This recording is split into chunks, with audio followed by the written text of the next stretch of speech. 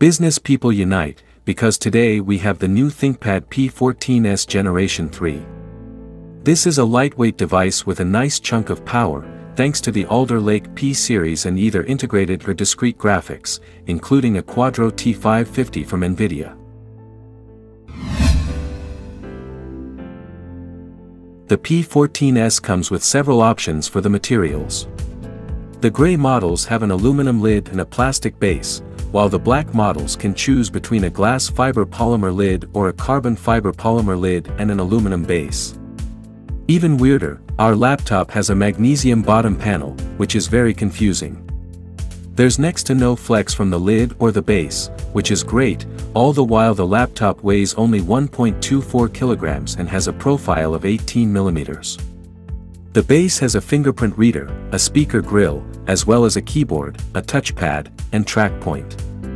Typing is pretty good, and the keys are spill resistant. The track point works flawlessly with the three buttons, while the touchpad is smooth to the touch, thanks to the mylar surface. However, the response from it is a bit slow. The input-output is kept on the left and right sides, as well as lots of optional stuff, which we have included. On the left, we have a LAN port, two Thunderbolt 4 ports, an HDMI 2.1 port, one 5 gigabit full-sized USB port, and an audio jack. On the right side sits a smart card reader and one more full-sized 5 gigabit USB port.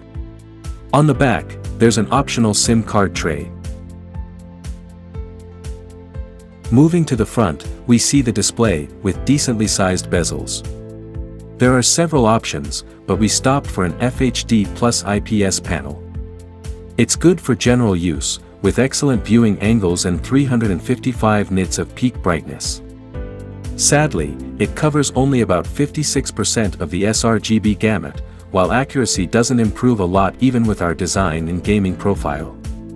Still, you can check out all our profiles in the link below.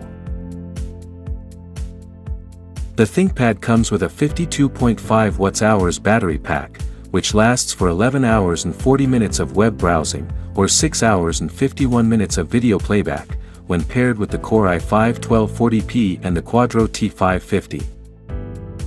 Only 2 per 100 people watching this video are subscribers. If you decide to just start following us, we'll be able to reinvest more in our laboratory thus making even more helpful videos for you. Thank you, you're awesome. Alder Lake does provide a much-needed increase in CPU performance, as the Core i5 1240p shines very bright. Compared to the Generation 2 laptop with a Core i7-1185G7, there is 60% more 3D rendering performance and a lead of 1.7 seconds in Photoshop. As for the graphics, the Quadro T550 is better than the T500 from last year, However, the integrated Radeon 680M inside the new Ryzen 6000 series CPU puts it to shame.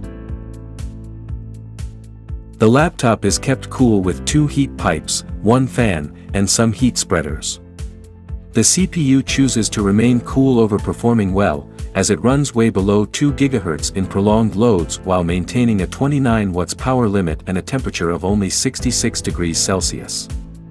The GPU does much better, showing higher clock speeds than the larger Dell Precision 153570 while running 3 degrees Celsius cooler. Comfort-wise, the single fan is a screamer, but it still doesn't reach gaming notebook levels of noise. The hotspot on the notebook isn't that warm as well, going as high as 44.7 degrees Celsius. Despite being one of the smaller laptops on the market, it does have decent upgradability, with one SODIMM slot for DDR4 memory and some soldered RAM. Storage-wise, there's AM.2 SSD slot for Generation 4 drives. We have a separate teardown video, which can show you how to access both the RAM and SSD slots. While not the best performing, the ThinkPad P14s Generation 3 makes up for it with its portable chassis, long battery life, and comfortable keyboard. The port selection is excellent as well, while the 12th generation Alder Lake CPUs bring good connectivity, making the laptop a great companion to do work on the go. For a deeper look, we have a more detailed review on our website, which we'll link down in the description.